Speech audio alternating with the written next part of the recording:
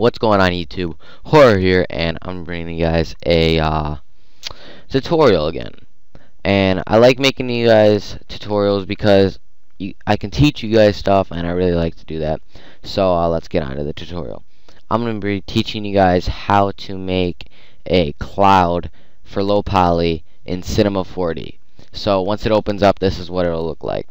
You're going to want to select a sphere and put the segments tool around 14 I mean you can change it here and there but I like around 14 uh, select the Phong tag and delete that.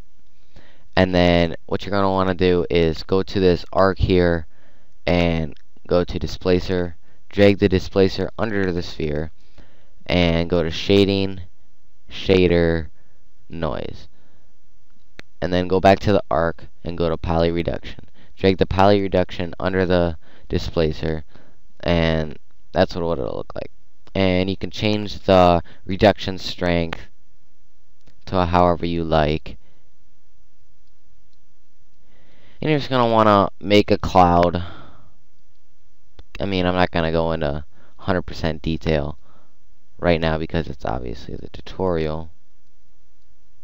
But I'm going to give you guys the basic look of a cloud.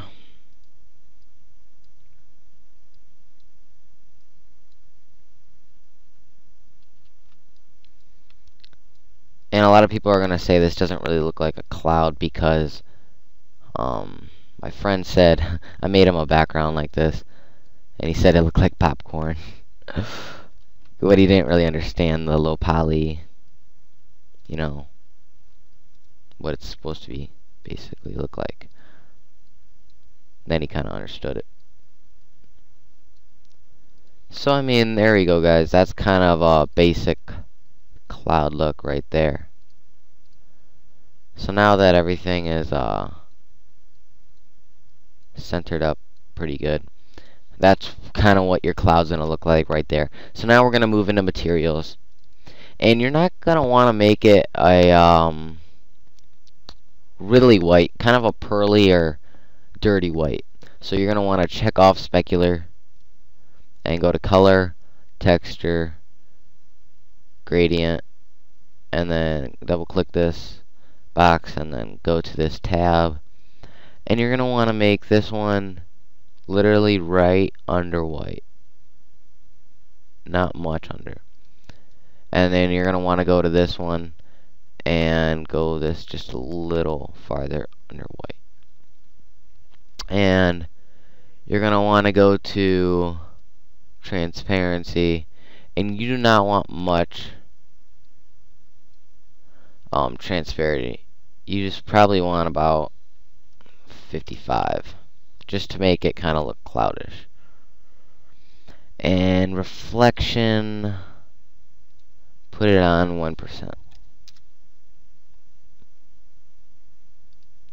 I've never tried fog. I don't really know what it does, to be honest.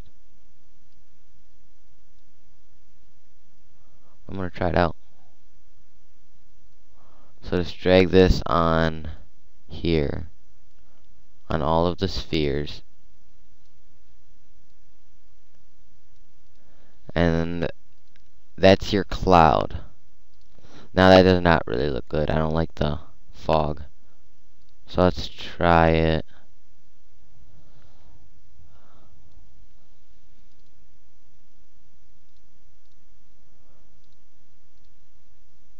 There's your there's your cloud. Just put on the gradient and that's all you really need. I mean you can test it out in whatever Lightroom, but right now without lighting this looks the best.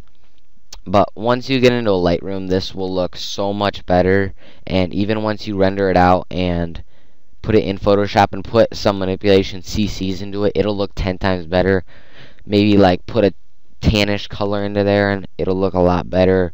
Because my manipulation CCs make my uh, low poly make it makes it look 10 times better. So yeah guys, this is how you make a cloud in Cinema 4D for low poly. And that's about it guys. So horror here. Peace out.